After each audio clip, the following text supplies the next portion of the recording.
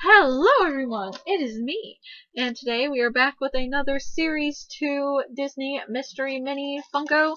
On the last episode we got this Pumbaa, who is a 1 in 12 Pumbaa. So let's see who we got.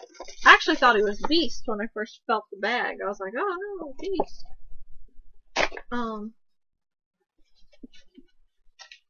I have to be careful with the next box I open so I can keep the box.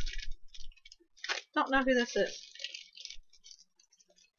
we got a Simba! Gonna be a mighty king. This is a 1 in 12 Simba. He's so cute.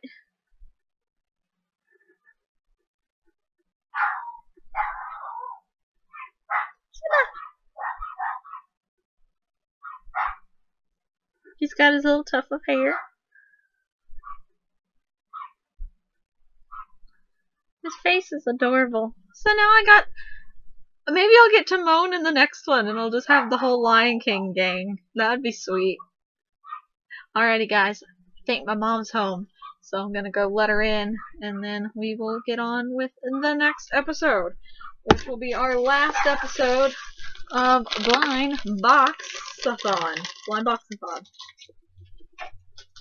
Yay! See you guys little bit.